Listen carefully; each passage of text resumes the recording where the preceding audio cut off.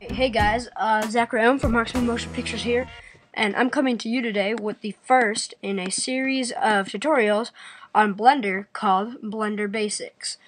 Now, as the name might imply, this series is all about the basic tools and concepts of Blender, alright? So, in this first one, the absolute basic tools of Blender is for the utmost beginners. Like, say you just got Blender today and you want to start learning a little more about it. Alright? So, that's who this tutorial is intended for. Alright? So, when you open up Blender, you have this. And this is generally called the default cube. Now, it doesn't look like a cube right now. It just looks like a square. But that's because you're only looking at the top of it. Now, to change your view of it, to change the angle at which you're viewing the default cube, you can hold down Alt on your keyboard, or if you're on a Mac, Option, and you can drag your mouse around. and this changes the angle that you're viewing the cube with. Alright?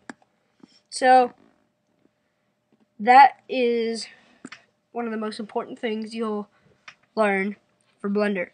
Because all the time you're looking at different angles of your objects, trying to figure out what should go where, and such and such. Now to change, as you can see right now, I'm kind of rotating around this point right here, like the camera is centered. To change that, like say I had an object over here, but I couldn't see it because I'm too far zoomed in, I can use, I can hold down Alt and Shift, and then drag my cursor, and I can drag the um, center point, the um, the the fo focal point, the all right. So now it looks like I'm probably viewing right there. I think that's probably the center of what I'm looking at, right? Rather than over here. Alright, so I'm just going to move it back over here. Um, and the second, uh, and the next thing you need to know is that down here, you can click View, and you can see a lot of different perspectives. You can click side. You can go camera, which, by the way, is this thing right here. This is the camera. Alright, so I'm going to view camera, and I see what the camera sees.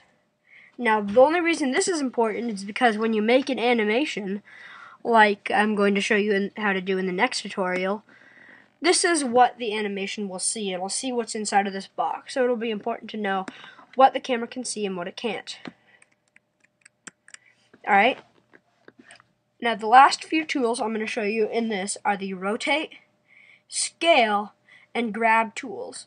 Now to rotate your cube, you can simply press R on your keyboard. And then when you move your mouse, the cube rotates with it. To scale your cube, press S on your keyboard and move your mouse away from the center to scale it.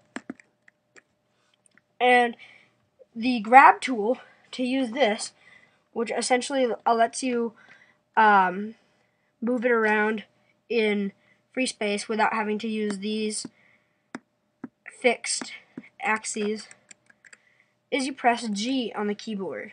And now it'll move with your mouse.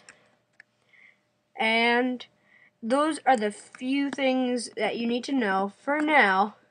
And I will guess I'll see you in the next tutorial. Alright, thanks.